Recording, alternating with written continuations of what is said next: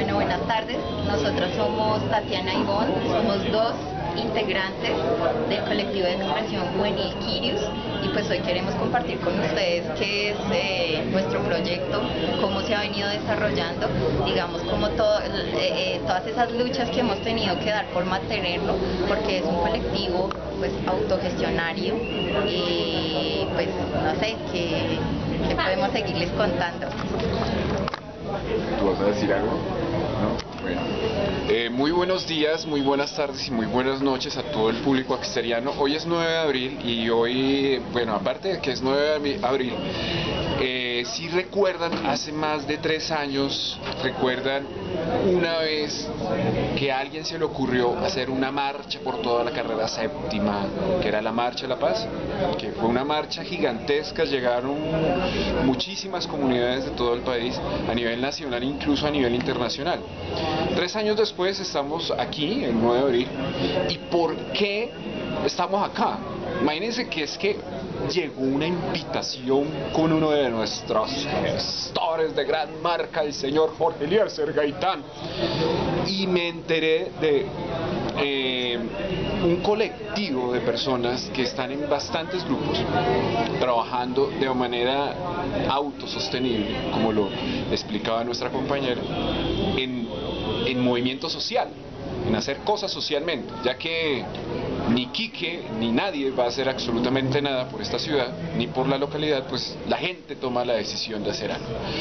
Eh, hola chicas, ¿cómo están? Bien, gracias. Pues eh, creo que me tengo que presentar porque ellas creo que no me han visto a mí, no saben quién soy yo, ustedes sí lo saben, yo soy Axteris. Eh, Axteris, eh, desde 1999 hemos estado realizando arte independiente, arte constructivo, eh, arte para construir mentes y construir una, nueva posibilidad de entendernos con el instrumento que es la palabra. Pero vamos con ustedes porque ustedes son nuestras invitadas en el día de hoy. Eh, como siempre lo hemos dicho en nuestras realizaciones, solamente invitamos a gente verdaderamente importante, o sea, personajes en la escena de la vida, porque la vida es como una obra de teatro también. Eh, cuéntanos, o cuéntenos chicas, cómo surgió Kirius, cómo es esa historia de Kirius, el por qué Kirius y, cómo ha surgido Kirius. Bueno, yo inicio desde algo que tú acabas de decir, que es la palabra. Eh, Kirius significa mensajero y realmente este es un proceso que nace en la calle.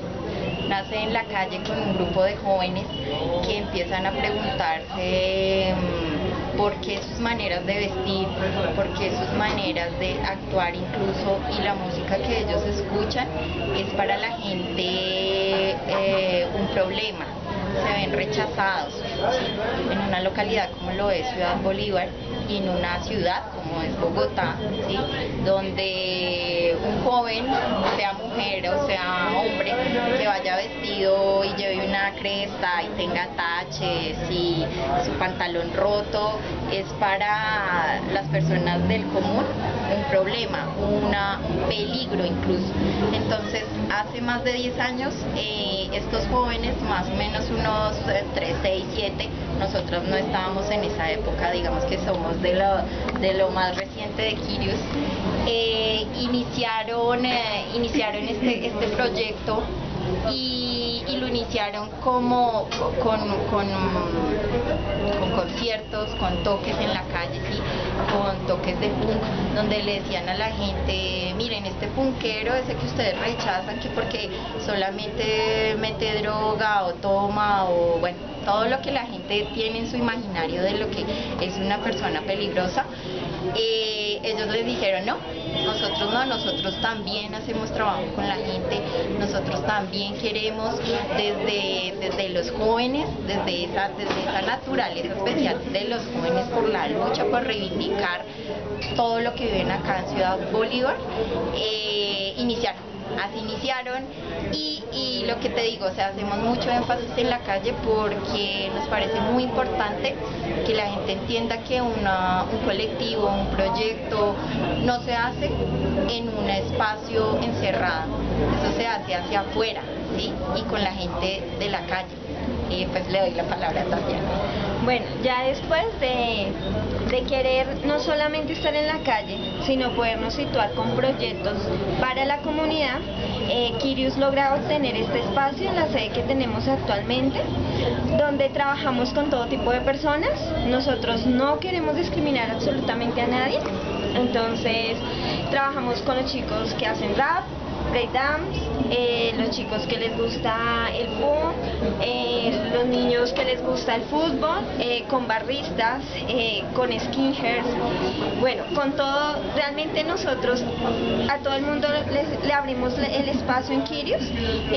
Lo más hacemos nosotros son los toques, con los toques, eh, los toques siempre son autogestionados, no se cobran, eh, es en apoyando a las bandas, esas bandas que, que no quieren seguir eh, en su garaje, sino quieren llevar un mensaje, esas bandas que no las, no las podemos encontrar en los conciertos más finos, pero sí los podemos encontrar acá, donde tenemos lo de nuestra gente, lo que es popular, lo que somos nosotros. Cada banda tiene un mensaje muy fuerte sobre el, sobre el momento histórico en que nos encontramos. Entonces nosotros pues le abrimos el espacio a eso, pero también vivimos preocupadísimos qué pasa con los niños, qué está pasando con los jóvenes. Eh, nosotros ya somos una generación, educación pero que ya vivió unos momentos históricos, pero ahorita vemos niños de 5 años que están viviendo otro momento histórico en su, en su escuela, en su casa, y nosotros no les, vamos a no les vamos a cambiar la vida, pero sí les transformamos muchas cosas que se les dicen por mentiras. Los papás ocultan muchas cosas creyendo que esa es la forma de cuidar a sus hijos. Nosotros aquí les abrimos el espacio, los papás vienen y se dan cuenta cuál es el trabajo que estamos haciendo. La comunidad nos ha apoyado mucho porque al principio, aunque ellos creían que nosotros íbamos a armar acá eh, una olla, se dieron cuenta que esto no era una olla y que aunque los jóvenes se pinten, se hagan, se tatúen o sean como sean, eh, son personas con una conciencia muy fuerte. Y nosotros no venimos a destruir nada, nosotros venimos a construir y transformar. Eh, hay una cosa que, nuestras compañeras han dicho, eh, en resumidas palabras, recuerdan ese término que he manejado mucho, amigos axterianos y axterianas, que es la conciencia viva. Lo que era Jaime Garzón, una conciencia viva, que desafortunadamente pues nos la mataron, nos la quitaron, nos la arrancaron, nos, nos- nos desapareció por completo, pero está en, en los hechos de las generaciones hacer actos de conciencia viva. Es muy, muy importante esto que, que se está haciendo acá en Ciudad Bolívar. Eh, en Ciudad Bolívar, ¿qué localidad sería en Bogotá? La 19. Localidad 19, porque pues yo vengo de la localidad Quinta de Usme. Pero sí ve, vengo de la Quinta de Usme y me reciben bien en la 19. Sí, bonito. Bien. Después de, todo este, eh, digamos, proceso que, que nace Kirius, ¿cuál ha sido uno de los sucesos que ha marcado y que definitivamente a ustedes como jóvenes eh, las marca y dicen no, hay que seguir en el proceso a pesar de las dificultades. Ese, ese para qué, ¿no? Eh, Ese, para qué que es que a veces uno se desanima y uno dice las cosas no salen como tal vez uno esperaría, pero hay algo que salió y algo que sobrevive y, eso me hace sentirme comprometido. Pues, pues, no, pues son realmente muchos los momentos, pero uno en especial es eh, Sur. Es un evento que, que pues estos jóvenes que dieron origen a, a han mantenido por varios años eh, guerreado, realmente es muy guerreado, porque lo que buscan es que las bandas de punk que tengan un mensaje, que generen conciencia, que le digan a la gente eh, eh, eh, por, qué, por qué levantarse día a día a pelear y a resistirse por un sistema, digamos, que, que, nos, que nos coarta, que nos censura, porque eh, todos esos mensajes en un punk al sur que se realiza anualmente es importante porque ese sentir y ese, ese momento que los recoge a ellos a través de su música está, digamos que está muy articulado con sus emociones también, con sus, con sus maneras de vivir, así como, no sé, puede haber eh, Rock al Parque, que es así súper grande para, para la para la ciudad, pues para ellos es eso, o sea, el Puncal Sur es para los punqueros ese momento, ese espacio donde usted como que se expresa y es lo que usted de, pronto de lunes a viernes no puede ser, porque de lunes a viernes usted tiene que ser o padre o madre de familia, que trabaja en una empresa donde tiene un horario, ¿sí? Y llega a ese espacio que nosotros hemos generado anualmente con dificultades, porque a veces digamos no tenemos sonido o porque pues igual hay que darle refrigerio a las bandas, entonces que de dónde sacamos la plata para darle refrigerio o porque eh, digamos vienen muchas bandas buenas que quieren tocar y entonces todos queremos que estén en tarima pero no se puede. Todo eso, todo eso se ha logrado en, en, eh, en Sur. Em, mostrarle realmente a la gente de la localidad, incluso de otras localidades, que ese punqueto podrido del que ellos hablan es un joven que todos los días se la guerrea y que ese escenario es para él significativo como joven y como hombre y como mujer que reivindica su música y su manera de ser. Bueno, otro, digamos que otro momento fue hace muy poco, eh, tuvimos el primer encuentro latinoamericano antifascista.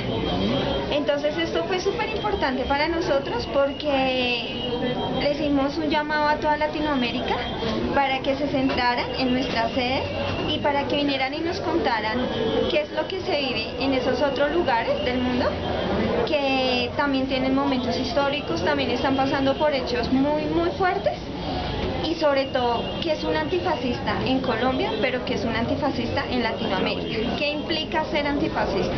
Nos pudimos reunir, eh, trajimos los chicos de México, ellos son una organización que se llama PUN, PUNESKI, eh, Orgullo PUNESKI. Trajimos los chicos de Medellín, Antifa Medallo, trajimos los chicos Antifa de Ibagué, eh, las personas independientes que, que, son antifascistas, que no están adscritas a una organización, también vinieron a ver de qué se trataba.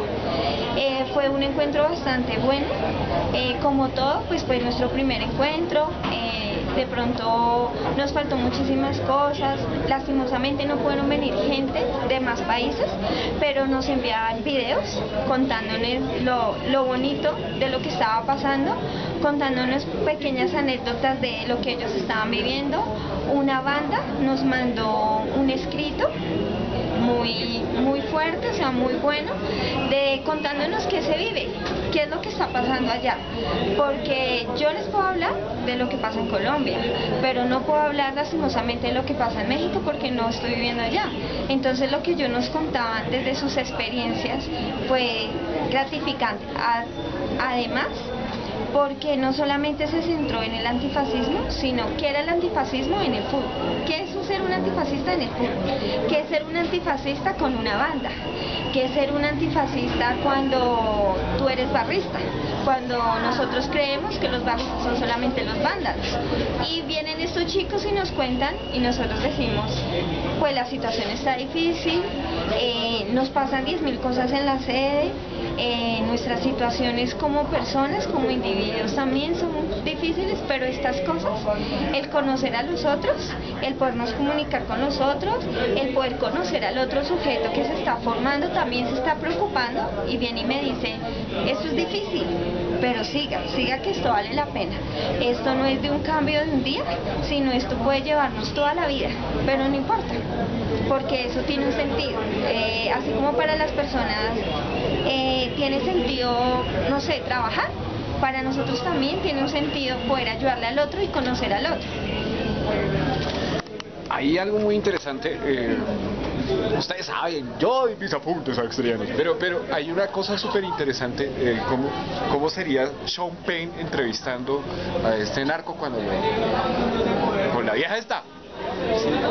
Sería cómo sería esa vaina sí y después que Sean Penn dice no lo que pasa es que yo quería vender la notica y, eso sería antifascista bueno yo no sé eh, ustedes saben perfectamente y creo que me han conocido alrededor de todo este tiempo saben que nosotros somos el lente de la oportunidad para que se diga de todo, pues con respeto, ¿no?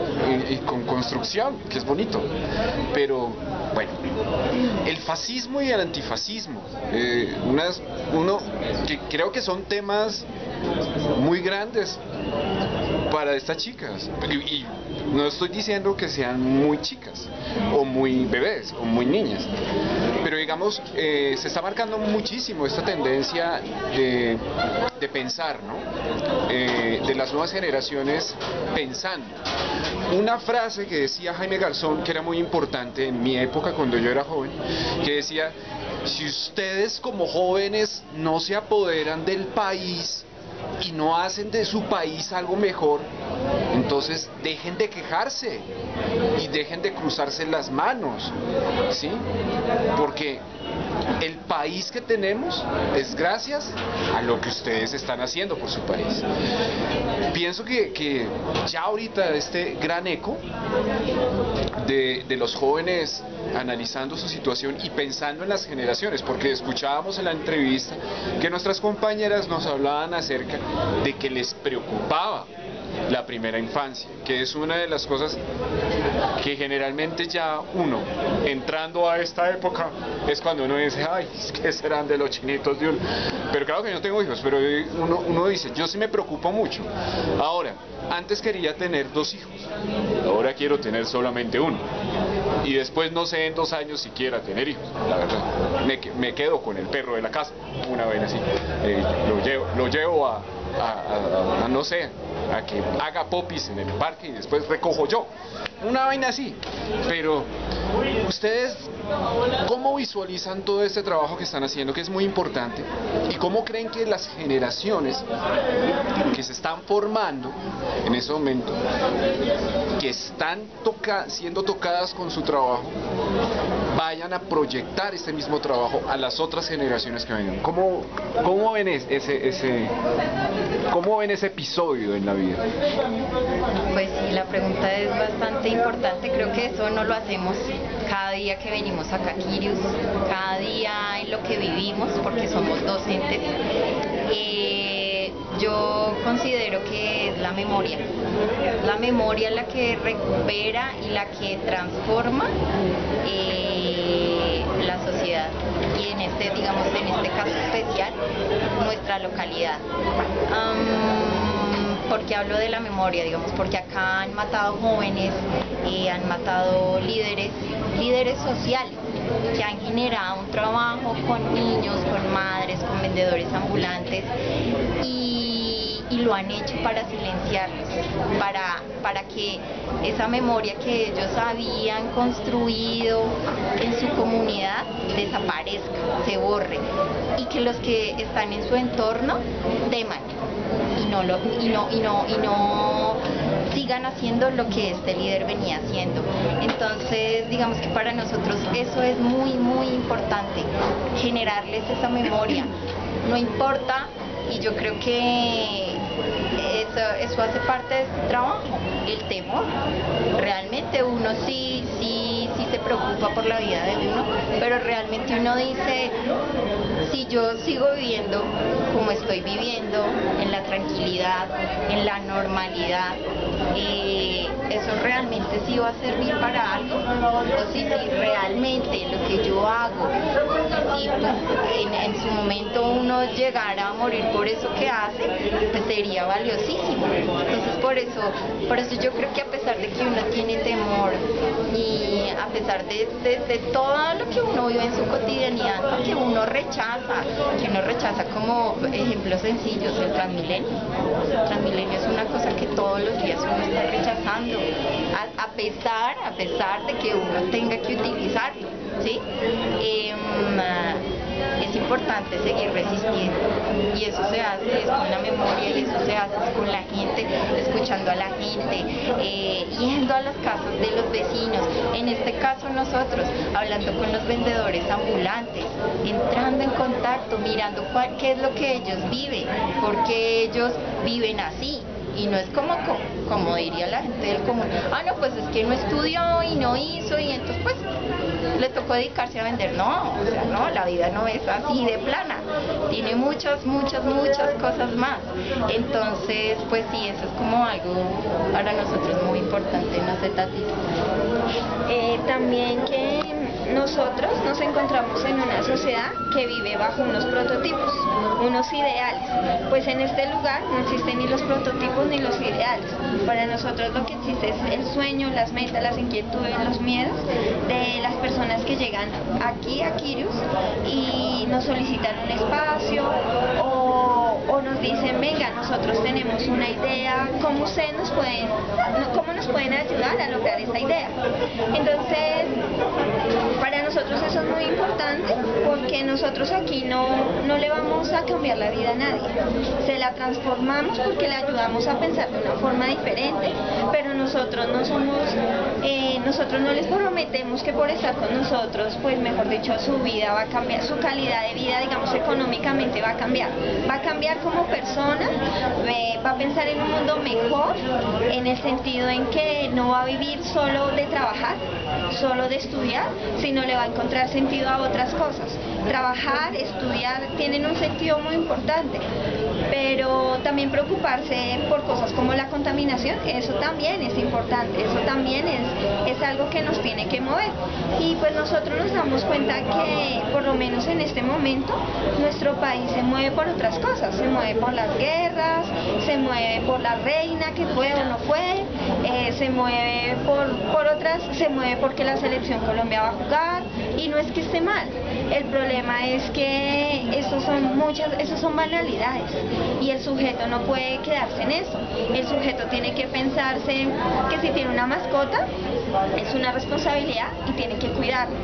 Que si tiene un parque, tiene que mirar cómo hace para que su parque prevalezca, cómo hace para que su comunidad crezca, cómo hace para que eh, el miedo no, no le corrompa y, por poco, sino que se dé cuenta que vale la pena apostarle a otras cosas. Eh, también nosotros trabajamos con los chicos de las universidades públicas y allá nos damos cuenta mucho de eso. Los estudiantes de universidad pública hacen un trabajo muy grande de memoria, de ramificación, de ayudar eh, ya sea a los grupos indígenas, sea a la madre comunitaria, pero las fuerzas represivas han ido cerrando, dejándolos cada vez más pequeños. Entonces todo eso nos genera a nosotros muchas cosas y pues aquí en Kirios no son, lo único que necesitamos es que vengan, que vengan, que conozcan nuestro trabajo para que se den cuenta y se motiven. Porque la idea no es que solamente se quede en Kirios, la idea es que se expanda, la idea es que crezca, es que otras personas también se piensen en su localidad, otras formas de cómo trabajar, de cómo hacer realmente generar cambios. Los cambios no se generan a grandes masas, se generan desde una persona y esa persona ya va generando todo un suceso. Pues estoy bastante Eh, no, eh, yo los invito, definitivamente, así como, como a mí me invitaron casualmente, porque pues estoy con lo de, ustedes saben, estoy con lo de tu café, estoy con lo de los talleres, estoy con, pues, estoy, todo eso, estoy, estoy, y mm, yo generalmente, solamente, y siempre lo he repetido, utilizo las redes sociales es para dar a conocer a Dexteris lo mayor que, o sea, lo más que se puede. ¿Cuánta gente ha pasado por Kirius? Eh, ¿Tienen ese dato, más o menos? ¿Cuánta Pues, gente ha pasado? A ver, empecemos por el ahora. Actualmente somos ocho personas. Ajá. Y cuando inició, yo creo que era aproximadamente las mismas.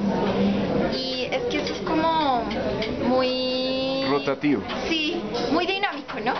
Entonces puede que en un momento haya mucha gente, como cuando yo entré. Yo ingresé a Kirius, ya este va a ser mi tercer año, en octubre. Y, y en ese año habían alrededor de unas 12 personas.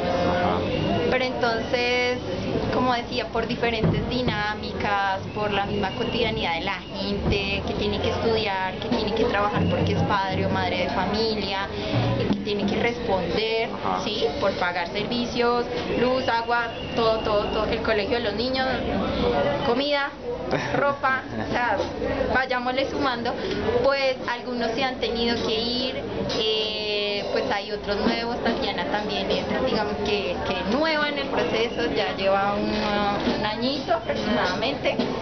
Eh, entonces, pues como ven, esto es esto no es lineal, no es quieto, esto se mueve todos los días, eh, incluso pues hay momentos en los que han sido muy poquitos por eso mismo, porque entramos todos en parciales o está, digamos, como ese momento también en que te- tenemos que relajarnos. Entonces, claro, cada uno está pues con sus familias, pero, pero lo bonito de todo esto es que los que estamos pues seguimos creyendo en lo que hacemos, desde, desde lo, no sé si suene cliché o lo que sea, pero desde lo poco o mucho que tenemos, nos mantenemos. Eh, hay un límite de edad, ustedes permiten Kirius niños, Kirius adolescentes, ya el no- la nueva terminología, ¿no? Hace dos semanas la, sa- la sacaron en unos estudios en Inglaterra, que ya no son, eh, los niños ya no son hasta los 10 años, son considerados a partir de los 10 años preadolescentes, entran ya a la preadolescencia. O sea, yo, en mi época yo entraba a la preadolescencia a los 13. Sí, y ya después era a los 15 adolescente. Y a los 18 ya era mayor de edad. Eh, pero no, hay- digamos, hay la capacidad para que entren personas de cualquier edad o hay una edad específica que se, que se Pues vincule la gente. como, con, digamos, como nace como colectivo de expresión juvenil, realmente buscamos articular a jóvenes. Sin embargo, eh, pues el trabajo que nosotros hacemos no excluye ninguna edad. Es decir, nosotros hacemos talleres con niños porque consideramos, como decía Tatiana, que la primera infancia es el momento de la vida que de ahí en adelante Le mantiene, define. le forma a uno el carácter, se define, le crea identidad o identidades, ¿sí? Entonces, bueno, digamos que nosotros no tenemos un Kirius niños, pero todos los niños y niñas son bienvenidos. Los jóvenes claramente también son bienvenidos. Eh, incluso me acordaba que hace dos años hicimos un evento que se llama Solidari Rap y en ese evento, pues logramos tener una cantidad de hoppers, de raperos, acá en nuestra tarima, acá en nuestro espacio y fue, y fue muy bueno compartir con ellos porque ellos, desde lo que ellos escuchan, pues también están apostándole a una transformación social. Em, también, bueno, metaleros, la gente que escucha metal, que le gusta el metal, también puede venir acá. Eh, bueno, como ya decíamos, esto nace de, de punquetos, ¿sí? Entonces, pues ellos también son los que lo han, lo han fortalecido y también han hecho que permanezca con el tiempo.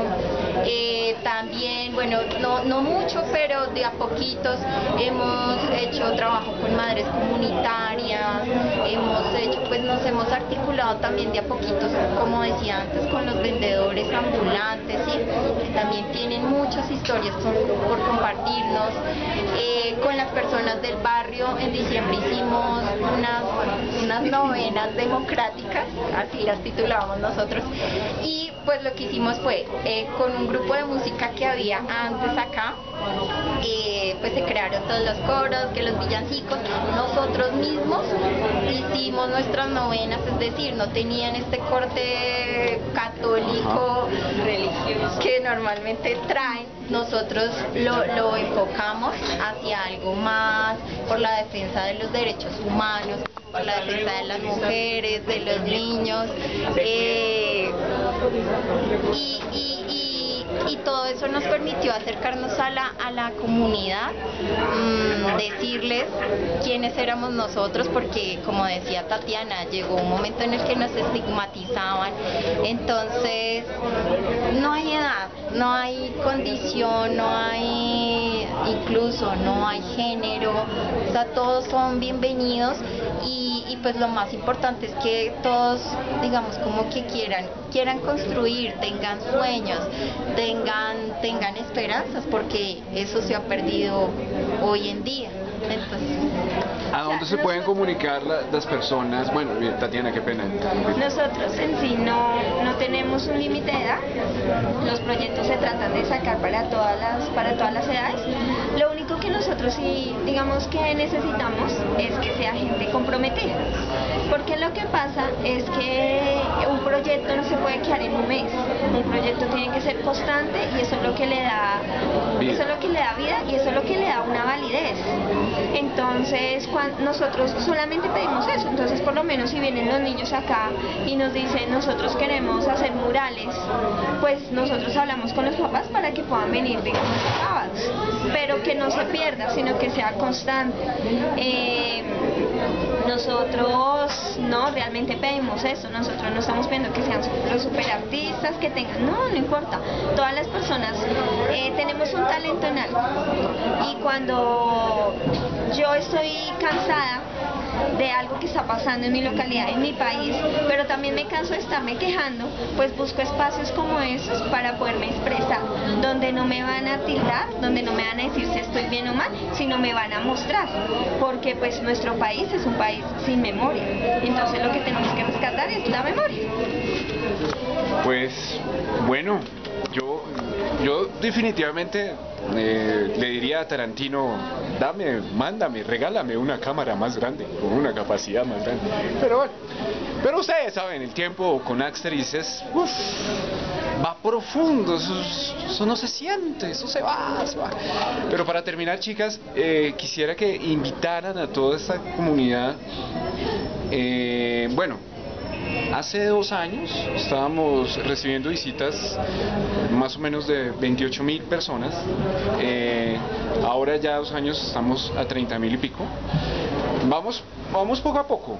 Eh, pero de estas 30 mil, pues que la gran mayoría están por fuera del país, pero hay un porcentaje interesante acá en Bogotá y en Colombia que de pronto casualmente estén viendo este video y digan y se digan a decir, "Uy, yo como que sí reacciono, o sea, como que yo sí quiero cambiar, yo quiero formar parte de algo importante. Entonces, si usted quiere hacer algo, si vea que aquí las chicas la están invitando o lo están invitando a que usted haga algo, a que, que se deje de quejar, carajo, y pues haga algo. De pronto no puede quitarle aquí que el puesto, pero puede hacer algo. puede llegar a hacer algo. Ya que, que estamos tan preocupados, nos preocupamos por banalidades. ah, En el día de ayer, eh, pues yo respeto a los géneros. Eh, yo soy heterosexual con mucho honor. Pero pues hombre, ayer estábamos preocupados y todos en la Corte Suprema, inclusive la senadora esta que es lesbiana, que es la esposa y, pues concubina aquí de, otra senadora importante, de aquí de la política nacional. Entonces, eh, ella decía en un programa, que no quiero decir el nombre, pero que comienza por noche y termina RCN, eh, decía una vaina como enfrentándose con otro man, un juez por allá en Costa Rica, decía que es que eso le parecía al colmo, que verdad, es que las parejas deben ser hombre y mujer. O sea, después de tanta banalidad, después de pensar cosas que solamente le van a servir es a ellos, pero están ustedes pensando en su entorno, yo les dejo esa pregunta. ¿Usted está pensando más en la senadora y en la congresista esta que son pareja, que se quieren casar, que quieren armar el lío? ¿O está pensando usted en su vecino, en su vecina, en su comunidad? Inclusive en la persona que de pronto está vendiendo algo en Transmilenio. ¿Piensa en eso? O sea, le dejo esa pregunta. Yo soy un hombre de cuestionamientos. Entonces le dejo la pregunta, ¿sí? Simplemente. Entonces, ¿a dónde se pueden comunicar, chicas? Todas las personas que estén interesadas. Eh, bueno, nosotros tenemos una fanpage, eh, es eh, Kiriu Ciudad Bolívar en el Facebook. Esto, mm, como tal, pues no tenemos ahorita un correo, sí, porque hubo un momento en el que hubo muchos correos, entonces preferimos solamente a través de, de la fanpage. Y eh, pues nuestra sede está ubicada eh, ustedes van por toda la Boyacá hacia el sur, llegan al hospital de Meisen y en diagonal, ahí, ahí está Kirius, Ciudad Bolívar, ustedes pues bienvenidos, bienvenidas. Eh, acabo de recordar que pues desde hace un tiempo hemos estado escribiéndole a, a personas que antes venían, ¿sí? Eh, que si querían hacer parte o que si tenían algún talento que ellos consideraran que podían aportarle a la comunidad, entonces pues igual pueden venir, pues, eh, ¿qué más? No, ya para cerrar, nosotros realmente lo que queremos hacerles es una invitación. Tenemos el primero de mayo, para nosotros es muy importante. Nosotros no marchamos en el centro porque creemos que ya se perdió realmente lo que es ir a marchar un primero de mayo al centro. Entonces nosotros marchamos en el sur. Entonces nosotros marchamos aquí en nuestra ciudad Bolívar, en Bosa, y, llevamos a las personas de diferentes colectivos, madres comunitarias, eh, la señora que es ama de casa, absolutamente todo el mundo está invitado a que hagan parte. Eh, el primero de mayo a las 9 de la mañana nos estaremos reuniendo en nuestra sede, también van niños, los niños de diferentes proyectos que tenemos. Entonces, no, pues acérquense, es un, es un buen motivo para salir a marchar. O sea, realmente no es, no nos vamos a meter acá con, con esas cosas que ya no nos interesan, no, es pensarnos ahorita lo que está pasando, nuestro hecho histórico, nos están vendiendo todo, la energía, todo, absolutamente, tenemos racionamiento de, y eso vale la pena salir a marchar. Eh, para que, o sea, las indicaciones que dio nuestra compañera. Vea, a mí me llegó la dirección y eso me pegué una... La verdad, o sea, yo no les voy a... Me, me pegué una perdida. Eso haría yo con Wally. Y bueno, yo decía, ya llegué al hospital de Mason. Ahora, ¿para dónde cojo, Dios mío? Esto es una montaña larga. ¿Será que me toca subir toda esa montaña? Pero es que esto dice carrera 18 Avenida Boyacá. Y entonces yo eh, preguntando llegué a Roma. Pues llegué.